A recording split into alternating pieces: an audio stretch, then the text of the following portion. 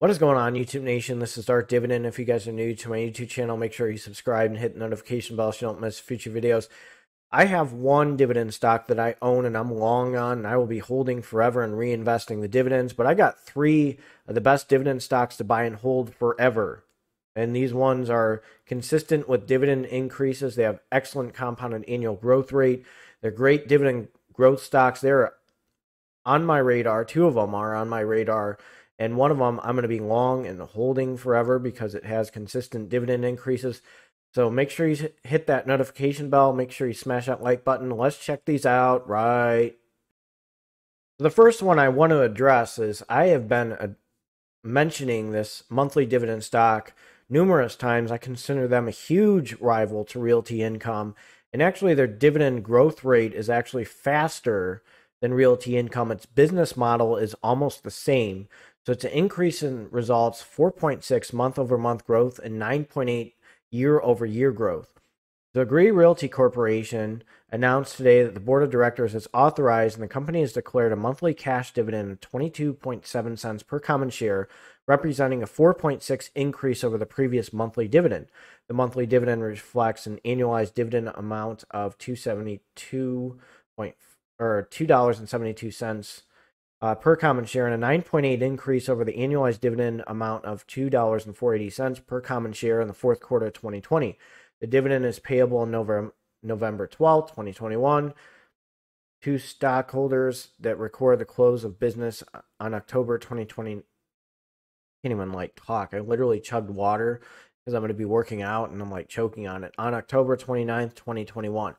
So here's the thing so I want to show you their dividend history. I'm going to show you how they look as a as a stock, and um, I'm going to show you how it is uh, compared to O. It's crazy. I, I have to show you this because a lot of people don't realize its business model is just about the same. It's not as big as O, but it is phenomenal. Let's check this out. 33 cents. Realty income is at $72.58. So it has been up 51.32 percent compared to 24% in the past 5 years.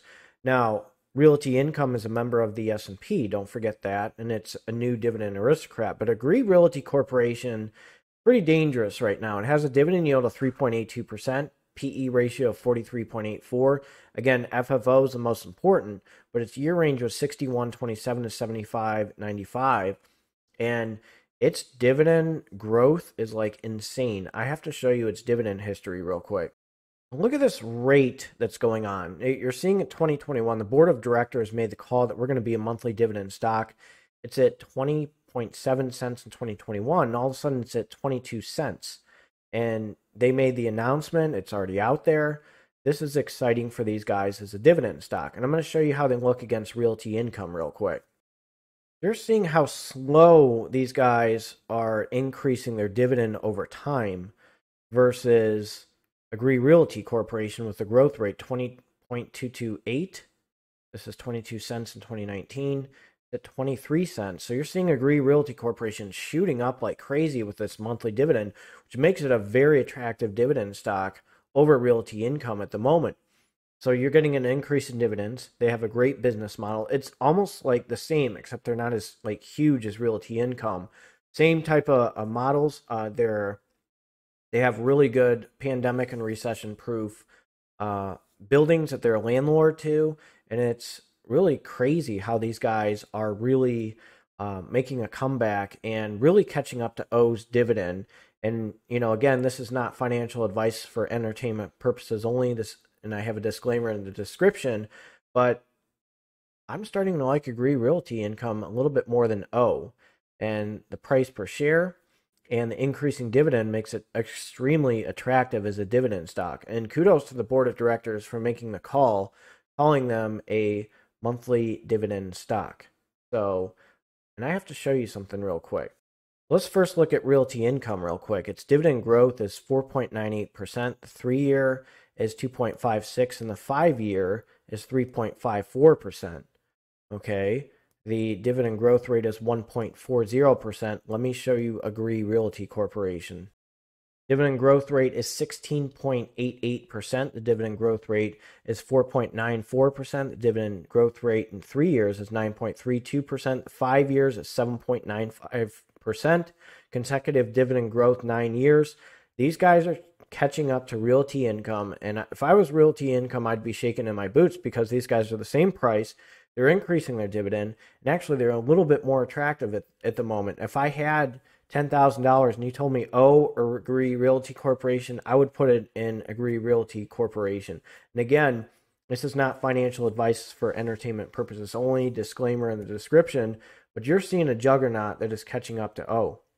Let's jump to the next dividend stock. And that next stock is Life Storage. I had to like stop when I was switching uh, to the next stock, and um, I was like coughing. I'm still choking on water. It's pretty lame. And that Life Storage is a real estate investment trust. It is sitting at 2.63% with a PE ratio of 57.22. DEA range is 70.29 to 131.97. It is a really good traditional and Roth IRA material. It has consistent dividend increases. I'll show you what these guys are about real quick. But look, in the past five years, it has beaten the S&P, which makes it extremely attractive. And you're going to see a nice dividend growth rate. I'm going to show you what these guys are about and show you their dividend history in a second.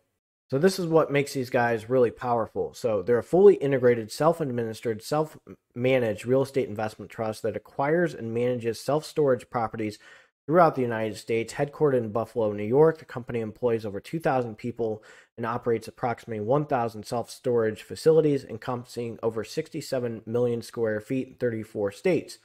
So, self storage, this they're everywhere. I see them in Ohio. They are everywhere and they're so powerful. And I have to show you their dividend history. LSI is a symbol, don't forget that. 95 cents to $1, $1, 7 cents. All of a sudden it went to 74 cents and 86 cents. And it has a dividend yield of 2.66% with a PE ratio of 53.21, an annual dividend of $3.44. What is going on? Why did it all of a sudden drop like that? Is this is this a yield trap? What is going on? Are they not financially doing well? What do you think? And here's why: because they have a history of stock splitting. So, 1995 they did a two for one. 2000 they did a two for one. And on January 28th, 2021, they did a three for two stock split. So, anytime you look at dividend stocks and you look at their dividend history, find out why a dividend decreased because some people are like oh my gosh they're they're not financially doing well. But you have to do some digging and understand why there's a decrease in the dividend.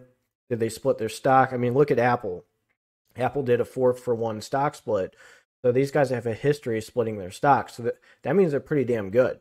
So you're getting a, his, a significant stock split history getting an increase in dividends that makes them traditional and Roth IRA material. Your net asset value is going to increase. Net worth will increase, or you can say it that way, and you're getting consistent dividends. So your net asset value will be nice, and then you can start taking money out once you retire. Hopefully, at 59, you start pulling that out. And hopefully, you don't have to worry about those loopholes where you have to pull money out for medical bills or house payment or something like that. So let's jump to the final dividend stock. Here's another bank stop that took a huge nosedive during the pandemic, and it was actually beating the S&P at one point. That is People's Bancorp of North Carolina. PEBK has a dividend yield of 2.37%, PE ratio of 11.84. The year range was $17.29 to 29.69. That is another one where the dip is there. Again, the financial sector and the real estate sector is what I'm going after because they still haven't really recovered from the pandemic. So I'm going heavy in those sectors for that reason. And I'm going to show you their dividend history. So 2019, you got 14 cents. 2020, 15 cents. 2021, 16 cents. And then in September, they made an announcement. They increased by one cent. So it's at 17 cents you have a PE ratio of 11.64 with a dividend yield of 2.4%. So these three dividend stocks, Agree Realty Corporation, they have increased their dividend over time. You got uh, LSI, who has done very well with a significant stock split history, which make them a very attractive stock. And anytime you see a stock split history, I mean that is a beautiful dividend stock. That means that they're in demand, people love them, and people keep on buying them. And PEBK, People's Bancorp of North Carolina, not a bad dividend yield percentage at 2.4%. It has increased its dividend over time. So keep an eye on those three dividend stocks. Agree Realty Corporation, I own and I'm long on. The other two, I'm keeping a close eye on. So let me know what you think of this video. If you are new to this channel, make sure you subscribe and hit the notification bell so you don't miss future videos. This is Darth Div- Dividend. You guys have a good one. Again, I'm like, I keep on choking on this water. This is like embarrassing doing these videos. All right, you guys take care.